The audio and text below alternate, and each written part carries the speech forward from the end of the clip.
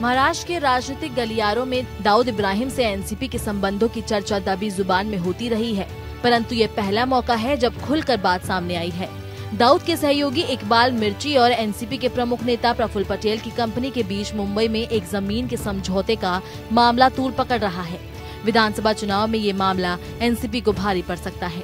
BJP ने इस मुद्दे को राष्ट्रीय सुरक्षा से जोड़कर एनसीपी से पूछा है कि क्या ये सिर्फ़ ज़मीन का सौदा है? या ये बात इससे कहीं अधिक थी। बीजेपी ने कहा कि एनसीपी नेता प्रफुल्ल पटेल और डी कंपनी को लेकर बड़ा खुलासा हुआ है।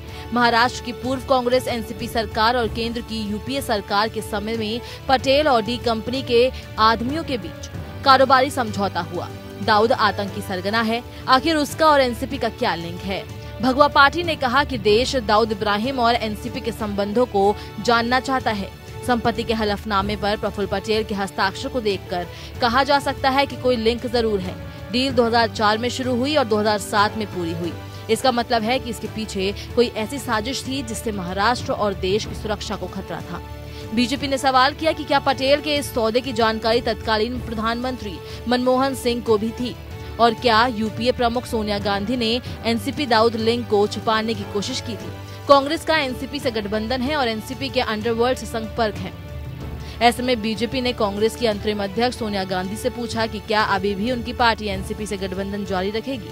आरोप है कि प्रफुल्ल पटेल के परिवार द्वारा प्रमोटेड कंपनी मिलेनियम डेवलपर्स और मिर्ची के नाम से कुख्यात दिवंगत इकबाल मेमन के बीच सौदा हुआ था। इसमें मिर्ची और इस प्राइवेट कंपनी ने मिलकर 15 मंजिली इमारत सेजे हाउस बनाई थी। मिर्ची की ज़मीन थी और बदले में 2007 में इमारत बनाने वाली कंपनी ने उसे चौदह हज़ार वर्ग फुट के तीसरी चौथी मंजिल के फ्लैट दिए थे।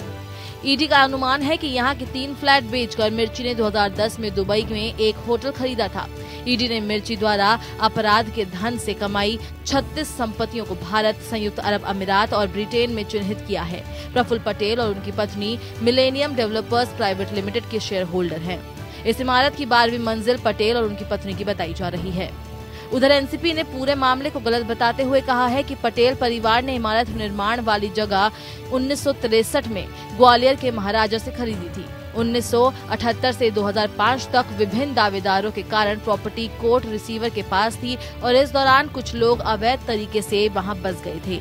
जब बिल्डिंग बनी तो हाई कोर्ट के आदेश से उन लोगों को तीसरे माले पर बसाया गया।